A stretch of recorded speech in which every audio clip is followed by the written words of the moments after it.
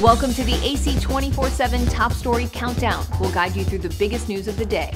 Our focus advocating our rights, advocating equality, advocating health, and advocating Earth. Here's our pick for number four. There's like 10 of them. Traffic chaos on the streets of San Francisco, caused by cars with no one in the driver's seat. There's like one, two, three, four cruise cars blocking no one can get through. These driverless cabs stalled for half an hour outside of the Outside Lands Music Festival.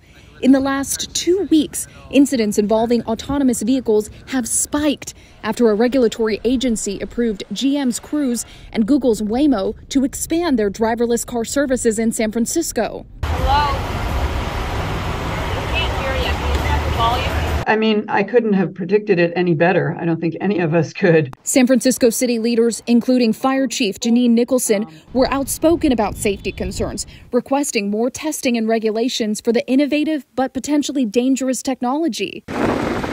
Just days after California's Public Utility Commission voted to allow Cruise and Waymo to roll out more cars in the city at expanded times, a cruise car and a fire truck collided. Now the state's DMV is investigating, and Cruise has been ordered to reduce its fleet by half until further notice. It could cost someone their life. When an autonomous vehicle impacts one of our company's ability to respond to an emergency incident, it can impact someone's survivability.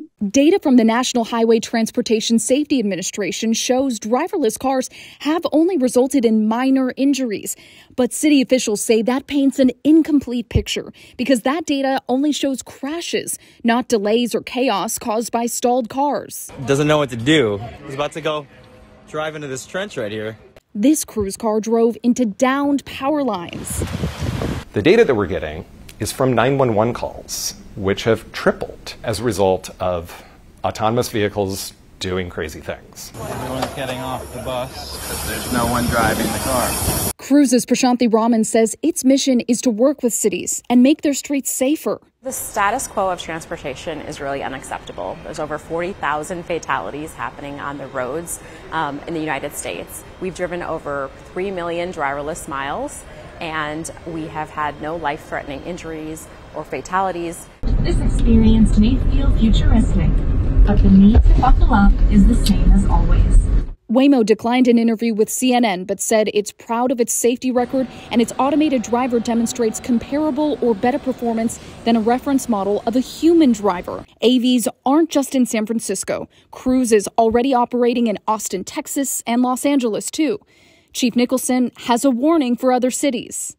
Pay attention, get on board, uh, get ahead of this because it's coming your way. And I don't want them to have uh, happen to them what has happened here.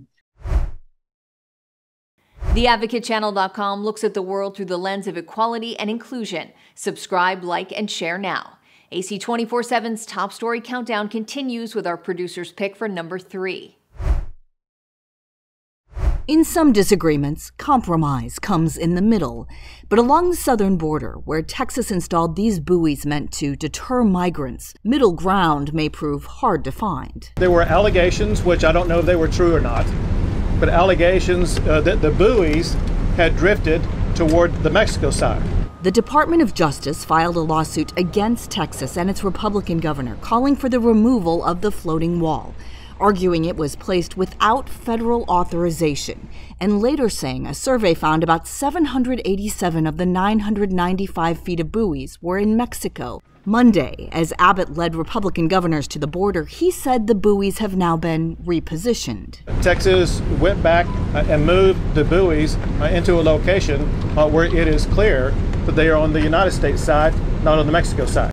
The buoys split opinions as sharply as they divide the water. The buoys are a deterrent.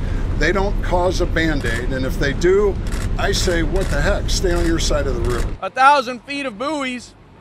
Well, it may not seem like a lot to those of you out there in the public listening. The fact is, it pushes people into the deep water. In a federal court injunction hearing Tuesday, U.S. District Judge David Ezra asked for written closing arguments by the end of the week so he can rule on whether to order Texas to remove the buoys. He said he would make a decision as quickly as he can. I'm Emily Schmidt, reporting. Like the Advocate channel on Facebook for the best way to get updated stories that advocate for equality, justice, our rights, and more. AC 24 7 continues with today's top two pick. I think the next 15 months is going to be like a lifetime movie. It's there's going to be so much going to happen on both sides. That is how Caroline Quinlan sees the 2024 presidential race. Hopeful for the possibility of change, but bracing for a year of drama. I, I could go for a fresh start on both sides of the aisle, both for the Republicans and the Democrats. Um, is that going to happen? I don't know. Quinlan has a ringside seat here in the sprawling suburbs of Milwaukee, where Republicans will not only gather tomorrow night for their first primary debate, but also convene next summer in the same arena to crown the party's nominee at the GOP convention. Hello, Milwaukee. Wisconsin has long been a vital stop on the road to the White House, a battleground and bellwether that went for Joe Biden in 2020 and Donald Trump in 2016. Eight candidates will be on stage for the debate, but not Trump. Former Wisconsin Governor Scott Walker, a one time Trump rival, believes that's a mistake. When I stood next to him at that first debate eight years ago in Cleveland, this was a guy who was commanding, who took charge, who took over the debate.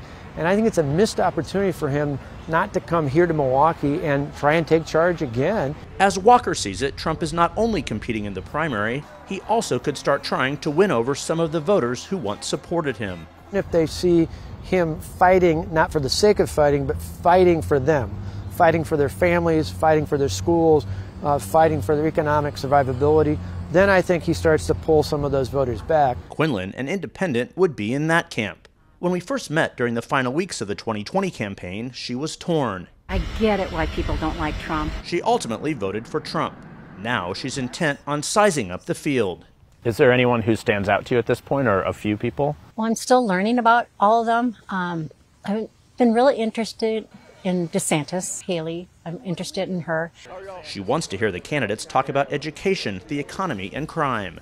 She fears Biden is too old, and for now is withholding judgment on Trump. Yeah, he's not my first choice. But yeah, let's see what my choices are. Democrats are also laser focused on Wisconsin. Good to see you, man. With the Biden campaign on the air with a new TV ad. What this debate is about is one of us versus Joe Biden. Brian Schimming, chairman of the Wisconsin Republican Party, said the attention makes clear his state will help settle a larger debate, whether it's a rematch between Biden and Trump or not. I don't think anything's inevitable. History is full of folks who, you know, were ahead early and then didn't end up the nominee in both parties. Follow the Advocate channel on Twitter and Instagram to stay updated on stories that matter every day. We're now at our number one story of the day. Take a look.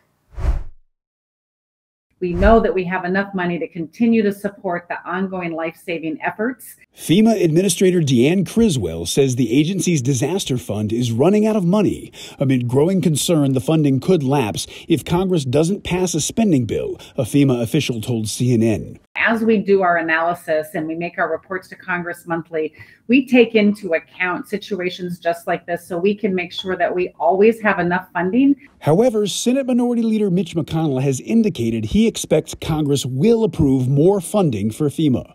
Uh, we'll be authorizing in the same bill, in all likelihood, cons- uh, considerable increase uh, for FEMA. It comes as the agency pushes forward with the response to Maui's devastating wildfires in a year that's setting records for billion dollar weather disasters before the peak of the Atlantic hurricane season has even arrived, and as hurricane and tropical storm activity is already causing damage. Tropical Depression Harold plowing through Texas after making landfall as a tropical storm Tuesday morning. The storm pummeling the state with high winds, heavy rain, flooding, and tornado warnings as it pushes towards Mexico. I'm Reed Binion reporting. Thanks for watching the Advocate Channel's top stories. We're on Facebook, Twitter, TikTok, and YouTube. Follow, like, and share, or check out advocatechannel.com for even more stories that advocate for you.